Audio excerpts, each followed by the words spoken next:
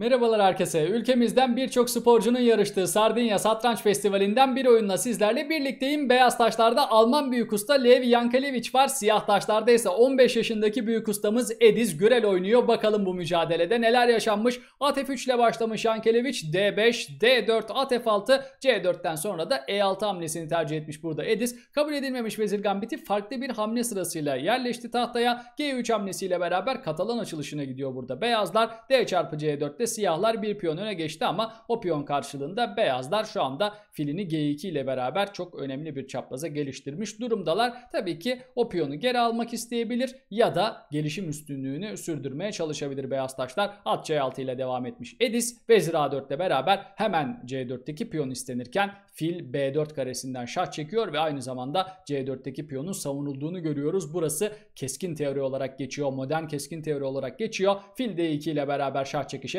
engellendi ve at D5 hamlesini oynayarak B4'teki fil desteklendi. Şu anda filler kırışılmadı. Hala C4 piyonu tahtada fazla piyon olarak duruyor ve burası gerçekten çok keskin. Neden keskin diyeceksiniz? Pe yani bir tane e, varyant göstermek istiyorum sadece. Nerelere gidebilir boyut olarak oraya bakalım. Fil çarpı B4 at, çar at çarpı B4 diğer at zaten açmaz da A3 ile beraber diyebilirsiniz ki ya evet verdiğimiz piyonu geri alalım. At kaçacak ve biz piyonu alacağız değil mi? İşte o kadar kolay değil. Burada siyahların B5 gibi bir hamlesi olabiliyor. Eğer veziri siz geri dönerseniz her şeyden vazgeçtiniz. Rakibinize üstünlük verdiniz demek. Peki vezir çarpı B5 alınırsa at çarpı C, at C2 ile beraber şah kale çatalı olacak. Çok daha e, normal varyantlar var. Ben sadece böyle en uç noktayı göstermek istiyorum. Şah D2 ile beraber ata baskı var. Buradaki ata baskı var. Fil D7 ile bunu savunduk. Şah çarpı C2 ile beraber C2'deki boştaki at alındı ama at D4 şah vezir çatalı fil de istediği için burada at çarpı D4 fil çarpı B5 at çarpı B5'ten sonra mesela bir anda vezire 3 aletlik bir konuma bile gidebiliriz. Gördüğünüz gibi mantıklı hamleler mantıksız hamleler değil tamamen ama daha sakin daha sağlamcı yollarda var burada. At D5'ten sonra vezir C2 ile beraber C4'e baskısını sürdürmüş burada. Yankeleviç ve B5 hamlesiyle C4 piyonu savunma yoluna gidiyor Edis. Edis piyonu aldı o piyona yatmaya çalışacak. D5'teki at özellikle çok kritik çünkü Şimdi bu piyonu veriyor. D5'teki piyonu kaldırıp C4'e koyuyor beyaz taşlar ama bu filin çaprazının daha da kıymetlenmesini sağlamak istiyor. D5'teki at E6 piyonu savunmasıyla adeta konumun sigortası gibi görünüyor. Şu anda A4'te devam ediyor. Hemen B5'e doğru saldırısı var. C4'ü de zayıflatmak isteyecek. C hattını da zayıflatacak tabii ki bu. Fil çarpı D2 almış Edis. At çarpı D2'den sonra at CB4 hamlesiyle ver veziri. Vezir C1 karesine çekilince de C6 sürüşüyle B5 desteklenmiş durumda. Aynı zamanda filin çaprazı da kapatıldı bu hamleyle diyebilirim. B3 hamlesi geliyor şimdi Yankeleviç'ten.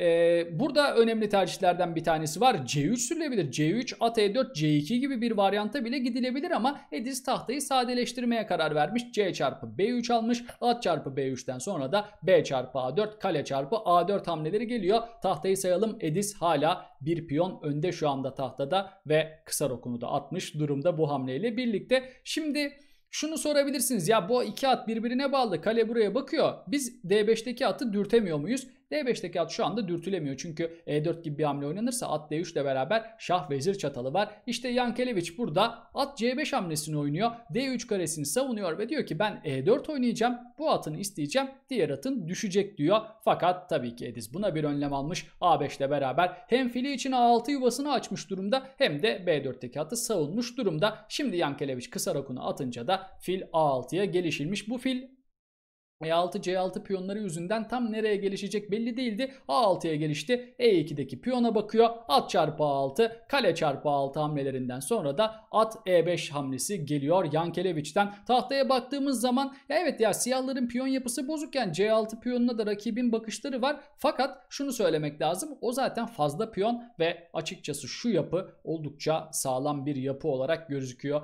e, görünüyor siyah taşlarda. Yani saldırılması oldukça güç böyle yıkılabilir olabilecek bir taktik yapı gibi durmuyor. Tahtada vezir e7 ile devam ediyor. Edis vezirini geliştirdi. Artık diğer kalesini de oyuna katmak isteyecek ve beyazlar uzun süredir istediği konumun sigortası dediğim o D5 atını ortadan kaldırmak istiyor. D4 hamlesiyle birlikte at F6'ya çekildikten sonra da vezir C5 hamlesi gelmiş. Vezir çarpı C5, D çarpı C5. Beyazlar tabi bir alan üstünlüğü yaratmış durumda o piyona karşılık bir baskı yaratmaya çalışıyorlar. Aksi takdirde zaten bu baskı da olmasa yani böyle kritik kareler olmasa konumda siyahlar dümdüz kazanç bir konumda da kalabilir. Kale F A8'de devam etmiş. Edis kale D1 açık hattı kullanmak isteyecek ama D7 karesini kullanamıyor. Gördüğünüz gibi Edis artık fırsat bulmuş. Şahını F8'e geliyor. Olası oyun sonları konumları için Ediz yavaş yavaş şahını merkezileştirmeye başladı. F3 sürüşü geliyor burada Yankeleviç'ten. Yankeleviç bir ara filin F1'e dönüp A6'daki kaleye basacak ve bu C6'daki piyonun savunmasını ortadan kaldırmak isteyecek. En azından bir tane savunmasını ortadan kaldırmak isteyecek. Şah E8 Edis şahını getirmeye devam ederken kale D6 hamlesi geliyor artık. C6'daki piyona bir baskı var ve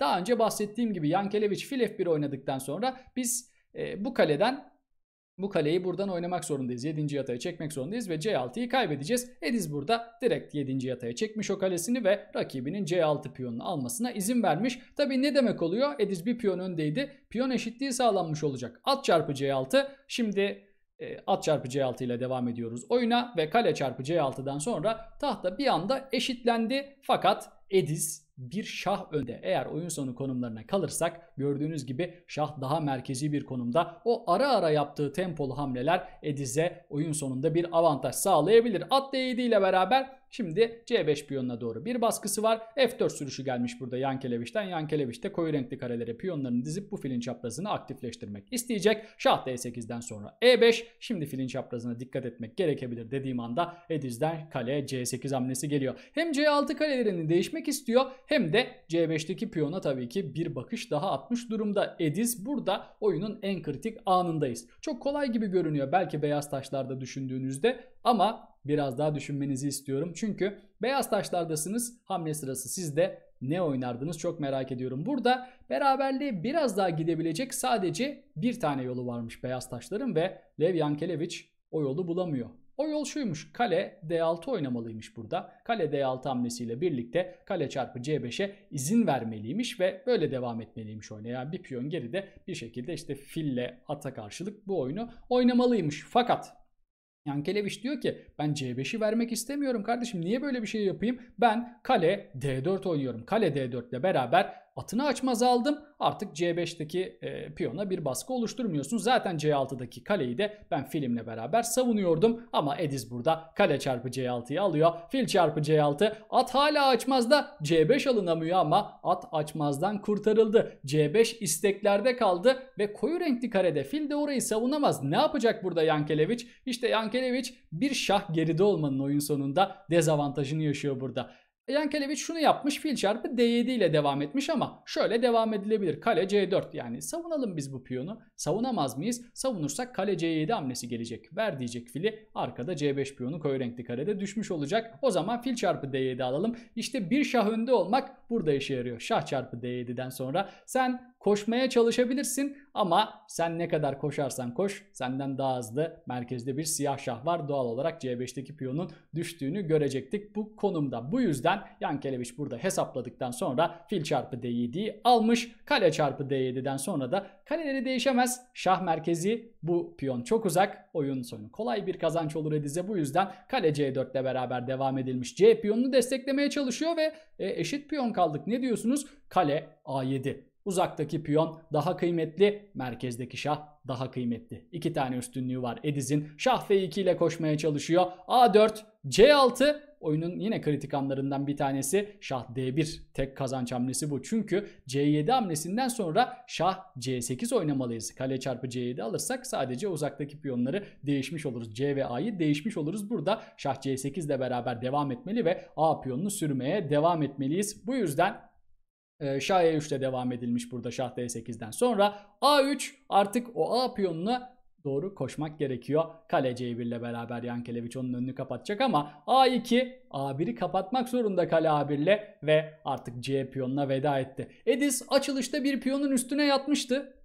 Onu aldıktan sonra uzun süre vermemişti Verdikten sonra da şahını merkezi bir konumda bırakarak oyun sonunda işte o piyonu tekrar düşürerek yine uzaktaki geçiriyle bir piyon önde kaldı bu konumda. Şah D3, şah çarpı C6, şah C4 o pozisyonu sağladı ama Ediz'den çok güzel bir hamle geliyor H5. Şimdi yine beyaz taşlardasınız kusura bakmayın sizi birazcık kayıp tarafına atmış gibi oldum ama A1'deki kaleyi oynayamıyorsunuz. Şahı oynarsanız, o pozisyonu bozarsanız be, e, siyah şah alan kazanarak yavaş yavaş üstünüze doğru gelecek. Doğal olarak bunu da oynamak istemiyorsunuz. E, G4 oynarsak piyon kaybediyoruz. F5 oynarsak piyon kaybediyoruz. Ne yapabilirsiniz? İşte Yankeleviç de o hamleyi yapmış. H3 oynamış fakat H3 oynayınca artık G3'teki piyon savunmasız kaldı ve Ediz hemen kale A3 ile beraber kalesinin daha fazla alanı olmasını değerlendiriyor. Ver diyor G3'teki piyonu. Şah B3 oyna Şah B4 oynamış burada Yankeleviç. Ver demiş kaleyi ama kale çarpı G3. A hattındaki piyon vezire çok yakın olan piyondan vazgeçtik. Vezir mi diyeyim piyon mu diyeyim diye düşündüm. Ama ona karşılık iki tane piyon aldık diyebiliriz. Hatta şöyle göstereyim G3 ve A3 piyonunu aldık diyebilirim. Kale F3 oynuyor burada Edis diyor ki H3'ü zaten alacağım.